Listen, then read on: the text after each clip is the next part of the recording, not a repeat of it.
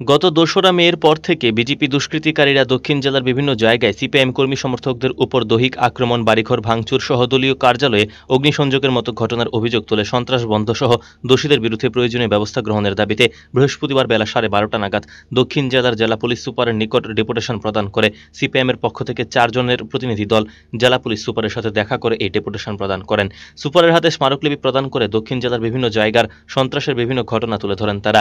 প্রতিনিধি দলে ছিলেন সিপিআইএম বিলোনিয়া মহকুমা কমিটির সম্পাদক তাপস দত্ত, পার্টির দক্ষিণ জেলার জেলা সম্পাদক বাসুদেব মজুমদার, তপশিলি জাতি সমন্বয় সমিতির রাজ্য কমিটির সম্পাদক সুধন দাস, পার্টির শান্তিরবাজার মহকুমার কমিটির সম্পাদক আশুতোষ দেবনাথ। পরে বেলা দুইটা নাগাদ সিপিআইএম বিলোনিয়া মহকুমা কমিটির অফিসে আয়োজিত হয় এক সাংবাদিক সম্মেলন। এদিন সাংবাদিক সম্মেলনে দক্ষিণ জেলা জুড়ে সন্ত্রাসের বিভিন্ন ঘটনাবলী সংবাদ প্রতিনিধিদের সামনে তুলে ধরে এইসব ঘটনার তীব্র নিন্দা জানান আয়োজিত সাংবাদিক সম্মেলনে উপস্থিত নেতৃত্বরা।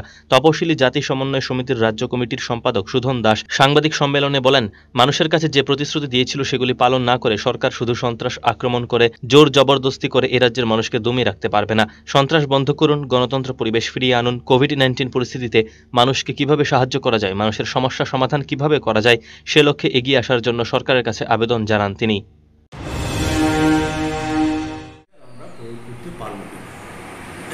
বলেছেন যে গণতান্ত্রিক অধিকার সবাই ভোগ করতে পারবেন, যার যে মতবাদ তার পক্ষে প্রচার করতে পারবে। সেই ব্যবস্থা গ্রহণ করবেন আমরা এটাই দাবি জানিয়েছি। আইনের শাসন প্রতিষ্ঠা করুন, গণতন্ত্র রক্ষা করুন। আমাদের রাজ্যের মুখ্যমন্ত্রী বলছেন, আঠারো সালের নির্বাচনের পর কোনো সন্ত্রাস হয় রাজনৈতিক খুন হয়েছে, বারো, তেরো জন। টানা সন্ত্রাস চলছে, আমাদের পার্টি অফিস খুলতে পারছি না।